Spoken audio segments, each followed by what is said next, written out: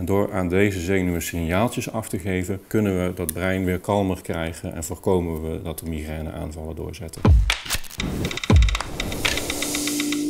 Mijn naam is Hubert Martens. Ik ben de CEO van Salvia Bioelectronics en wij maken kleine implanteerbare apparaatjes voor de behandeling van migraine. Migraine komt heel veel voor. Als de aanval doorzet, is het enige wat je eigenlijk kan doen in een stil hoekje wegkruipen. Alles wat je binnenkrijgt, geluid, licht, dat doet letterlijk pijn. Wij ontwikkelen een oplossing voor migraine, een klein chipje onder de huid, die jouw brein helpt om de prikkels die tot migraineaanvallen leiden te onderdrukken.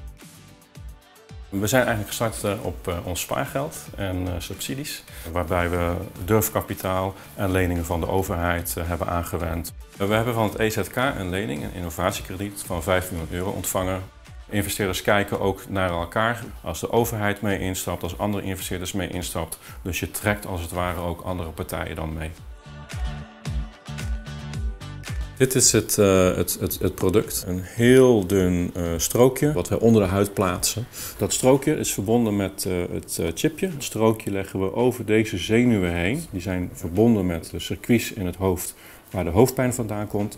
En door aan deze zenuwen signaaltjes af te geven, kunnen we dat brein weer kalmer krijgen en voorkomen we dat de migraineaanvallen doorzetten. Het zit wel in je hoofd. Het is ook wel een beetje spannend natuurlijk, maar het is zo klein en zo dun, dat zie je niet, dat merk je niet, daar voel je verder niets van. De droom die we hebben, de hoop die we hebben, is dat echt die miljoenen mensen die zonder eh, een overdaad aan medicatie goed geholpen kan worden en dat die mensen weer een normaal leven kunnen leiden, zoals, zoals jij en ik.